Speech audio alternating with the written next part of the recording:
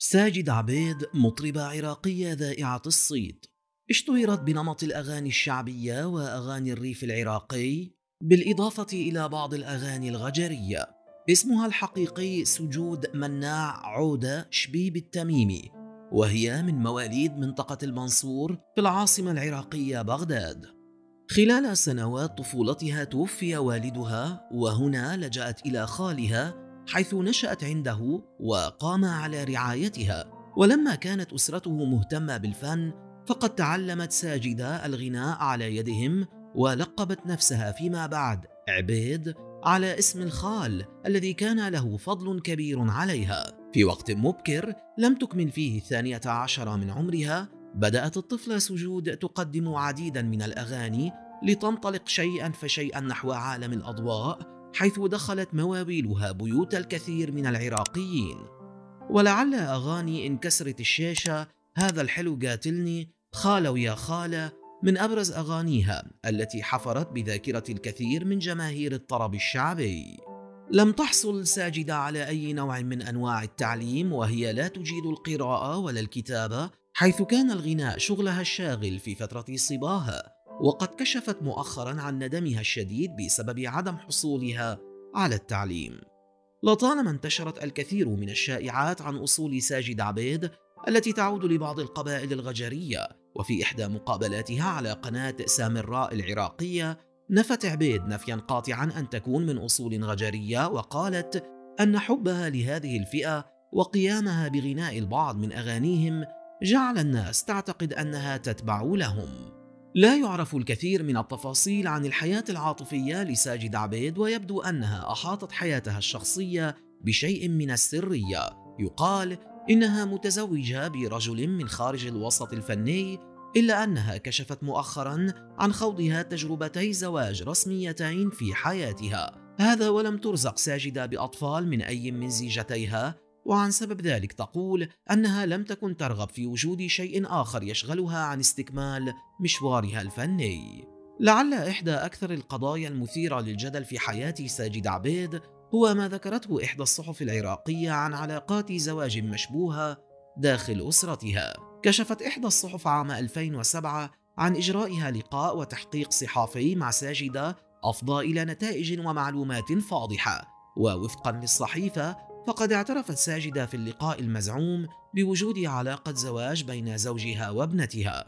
كشفت عبيد أنها التقت بالسياسي والنائب العراقي السابق مشعان الجبوري وتزوجته سرا وأنجبت منه طفلة وحيدة أسمتها صبا ثم تركها بعد فترة قصيرة بعد انفصالهما بعشرين عاما عاد مشعان والتقى بسجود مجددا وحين رأى ابنتها معها أعجب بجمالها وطلب الزواج منها. وعندما أخبرته أنه والدها أنكر الأمر وأصر على هذا الزواج ويقال أن مشعان استمر بالتردد على ساجدة وابنتها إلى أن تزوجها دون رضا والدتها بعدما أغراها بالأموال ثم قام بتهديد ساجدة بالقتل إذا قامت بإفشاء السر. ورغم الانتشار الكبير لهذه الشائعة ترفض ساجدة صحة هذه الادعاءات وتنفي وجود علاقة بالأساس بينها وبين مشعان الجبوري وتقول أنها لا تعرفه على الإطلاق. عرف عن ساجد عبيد تمجيدها للرئيس العراقي الراحل صدام حسين في أكثر من مناسبة وقد كشفت عن قيامها بالغناء في حفلات عدي وقصي ابني صدام إضافة إلى إحياء العديد من أعياد ميلاد ومناسبات عائلة الرئيس العراقي السابق. وقد تحدثت عبيد عن لقائها مع صدام وحزنها الكبير على إعدامه كما دافعت عن مجمل تصرفاته خلال فترة حكمه. نتيجة لهذا الموقف تناقلت بعض وسائل الإعلام أنباء عن صدور مذكرة اعتقال بحق ساجدة وذلك بسبب دفاعها عن صدام حسين وحزب البعث وهو أحد الأحزاب المحظورة في العراق.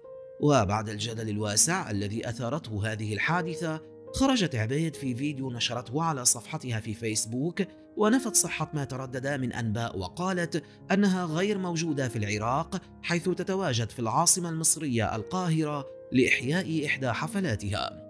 في سبعينيات القرن الماضي وخلال إحيائها لإحدى الحفلات الغنائية في مدينة الرماد العراقية تعرضت ساجدة لحادثة أليمة كادت تغير حياتها. فبينما كانت تقوم بالغناء برفقة ابنة أختها كان بعض الشبان يقومون بإطلاق الرصاص بشكل عشوائي في الهواء كنوع من إلقاء التحية. وفي غفلة تفاجأت بإصابتها هي وابنة أختها بعدة عيارات نارية.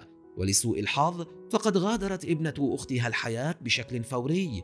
أما هي فقد نجت بأعجوبة إذ استقرت الرصاصة في بطنها وأجريت لها لاحقا عملية في لندن حيث تمت إزالة الرصاصة رغم عجز الأطباء عن القيام بذلك في البداية.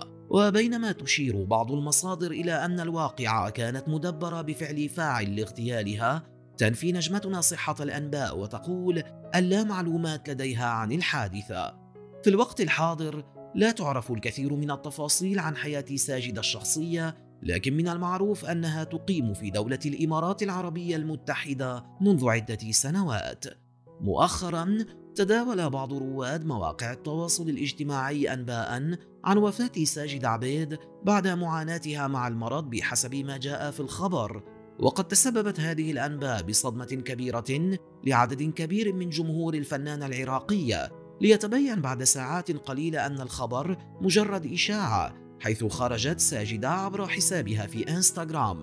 فكذبت تلك الأنباء واستنكرت قيام البعض بنشر أخبار مزيفة عنها بشكل دائم خاصة وأنها قامت بإحياء إحدى الحفلات في العاصمة العراقية قبل سويعات قليلة من نشر الخبر.